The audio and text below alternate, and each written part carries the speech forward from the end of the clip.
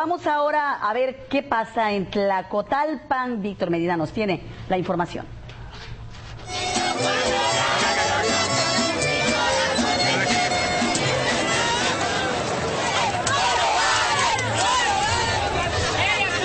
Son los ecos de los festejos en la perla del Papaloapan, donde las jaranas siguen sonando.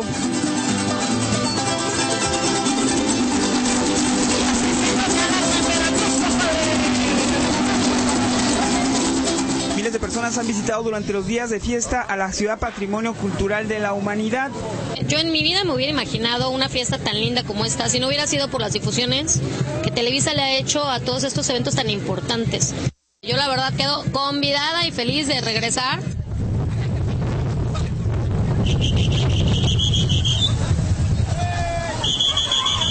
Pues es la perla del Papaloapan, por supuesto, que es un lugar mágico, muy bonito. Estamos muy contentos. En la singular ciudad al margen del Papaloapan los festejos continúan. La Virgen de la Candelaria, que por la lluvia y el viento productos del Frente Frío número 26 no pudo pasear por el río este miércoles, saldrá al río el próximo domingo. Hasta el domingo a las 4 el paseo. El domingo a las 4.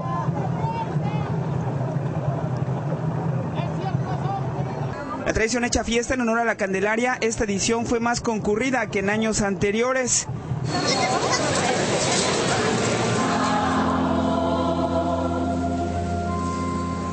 En Tlacotalpan los festejos terminan el próximo 9 de febrero.